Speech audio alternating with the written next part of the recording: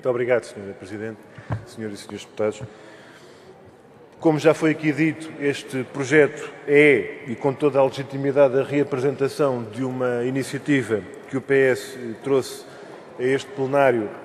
no passado dia 3 de julho. Nós entendemos que os problemas que se colocavam à data não se resolveram, antes pelo contrário, no que diz respeito à concentração da propriedade e, e à falta de transparência no que diz respeito a, esta, a este poder crescente eh, de dominação que o poder económico exerce no que diz respeito à comunicação social eh, nesta, nesta matéria. Reafirmamos o que na altura eh, trouxemos a debate de que consideramos que a transparência plena e o conhecimento público da propriedade dos meios de comunicação social é algo que faz falta, que é necessário e que achamos muito bem que haja propostas e iniciativas no sentido de aprofundar esse conhecimento e essa transparência, mas importa aqui dizer que sem transparência nada feito, mas que só a transparência não chega. Ou seja, eh, quando a comunicação social se vai aprisionando e transformando em cotada do poder económico e das grandes empresas, quando vai desaparecendo gradualmente a pluralidade e o pluralismo no sistema eh, mediático, é preciso dizer que não ficamos sossegados com o facto de se saber quem são os donos dessa cotada. Ou seja, é preciso evitar que essa situação se aprofunde, se agrave, evitar que vá piorando a gravidade do problema. Ah, de resto, como dissemos e reafirmamos, estamos de acordo com a transparência da propriedade e com ah, a sua defesa,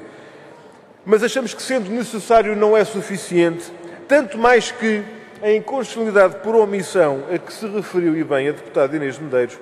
salvo melhor opinião, continuará a acontecer enquanto não se cumprir o artigo 38 da Constituição. E o artigo 38 não diz que o Estado deve divulgar a concentração da propriedade dos média. Diz que deve impedir a concentração da propriedade dos média. E, portanto, esta matéria coloca-nos perante a necessidade de eh, fazer uma parte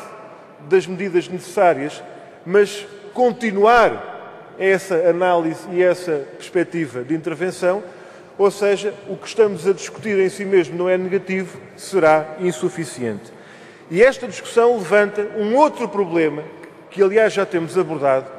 que é da responsabilidade acrescida, da importância ainda maior neste panorama preocupante de dominação pelo poder económico do sistema mediático do nosso país, a responsabilidade e a importância ainda maiores do serviço público na informação e na comunicação social. E queremos aqui voltar à questão e reafirmar que é altamente preocupante que tenhamos conhecimento nesta Assembleia da República, como tomamos conhecimento esta manhã,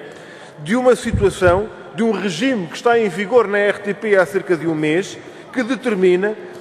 transformando opções editoriais das direções de informação em pedidos de autorização ao Conselho de Administração, que passa assim a ter uma espécie de direito de veto sobre trabalhos de reportagem e cobertura noticiosa. Isto significa, portanto, que estamos perante um problema muito grave que exige uma resposta do Estado português sobre o sistema mediático e o combate e o impedimento concreto dessa concentração de propriedade, mas responsabiliza e exige ainda mais do serviço público e uma resposta cabal de cidadania, de democracia, que o serviço público deve também garantir e que nos, no próprio dia de hoje está a dar sintomas e mostras de uma ameaça cada vez maior a esse pluralismo e essa pluralidade. Disse.